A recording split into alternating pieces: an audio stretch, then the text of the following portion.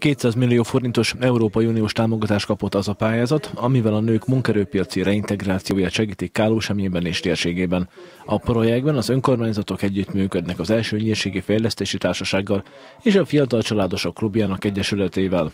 A nyírbátori térségben a munkanélküliség aránya 2010-ben 25% volt, ez már a 8% alá került. Az adat tovább javulhat, ha azok a nők is el tudnak menni dolgozni, akik ma még nem. Országosan ugye 740 ezer új munkahely jött létre az elmúlt időszakban, és ebből mintegy 250 ezer, ami hölgyeket foglalkoztat. Ilyen formában van egy lemaradásunk az új munkaerő piacra való belépés tekintetében.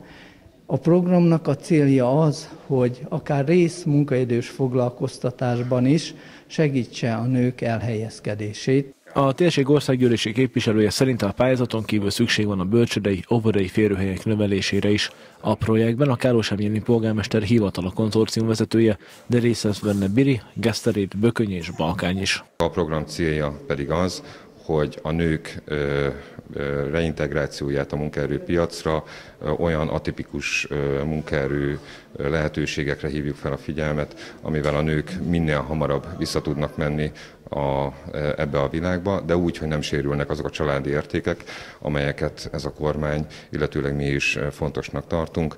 A család az egy szem dolog, és ilyen szempontból megpróbálunk olyan jellegű szolgáltatásokat mellé fűzni, amelyben ezt a folyamatot könnyebbé tehetjük. A térségben 50 szociális témájú pályázat nyert mintegy 5 milliárd forint értékben. A források többségben a gyermeknevelés támogatására, a szociális infrastruktúra növelésére és az esélyegyenlőség javítására érkeztek.